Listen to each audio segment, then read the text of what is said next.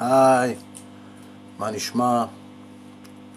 רציתי לתת לכם איזה טיפ שחשבתי עליו, שמי שלא מנגן על גיטרה, או שהוא מתחיל לנגן על גיטרה, אז הוא רואה, הוא רואה שעושים את זה. מה זה? מה זה הצלילים האלה?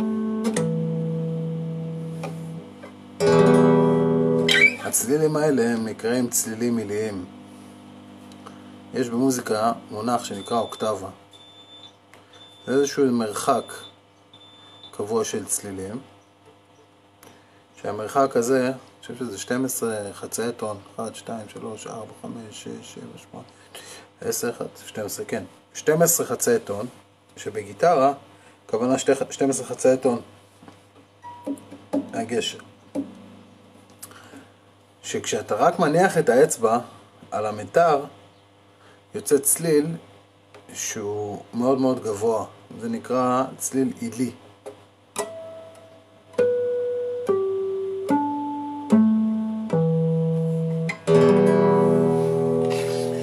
יש שיר אה, של אהוד בנאי, מהאלבום הראשון, אה, אהוד בנאי והפליטים, שנקרא אה,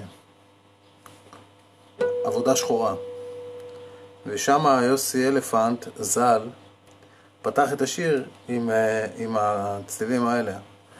השיר עצמו, אני חושב שהוא במי מינור, EM, והוא מתחיל אותו ככה, רק עם צלילים עיליים.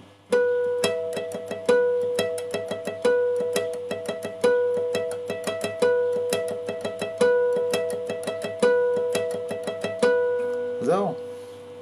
נורא מעניין. צלילים מלאים, שווה לחקור את זה.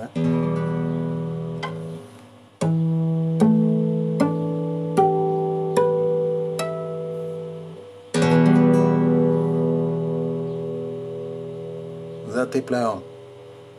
תרשמו לי אם אתם רוצים לשמוע כל מיני דברים.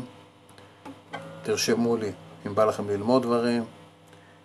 תרשמו לי תגובות. תהיו איתי בקשר. אני פה. ביי.